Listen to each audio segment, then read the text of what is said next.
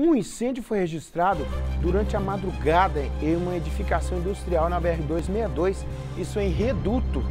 O incêndio de grandes proporções, olha só o estrago, atingiu maquinários, várias urnas já prontas e, e muito material, incluindo madeira usada na fabricação de urnas. É urna que as trem de enterrar os outros, Jarão? É porque fala caixão chama de urna, né? Uma motocicleta que estava no interior do galpão também foi atingida pelas chamas, né? E outro veículo que também estava no local foi retirado pelos bombeiros após eles quebraram o vidro, né? E empurraram para fora do, do galpão, né? É, após algumas horas de combate direto e isolamento estratégico do material, né, que não foi queimado, né? Então foi realizado o trabalho para conter as chamas e evitar aí a propagação do fogo, né?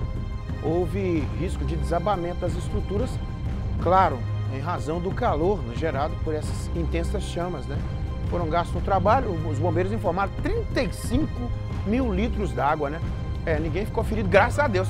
Sazuna é uma fábrica de caixão, então, né? Chama de urna, né? É, chama de urna. É, boa recuperação é, financeira e estrutural para a turma aí, né, gente? É tudo madeira, né? Na hora que pega fogo é muito rápido lá.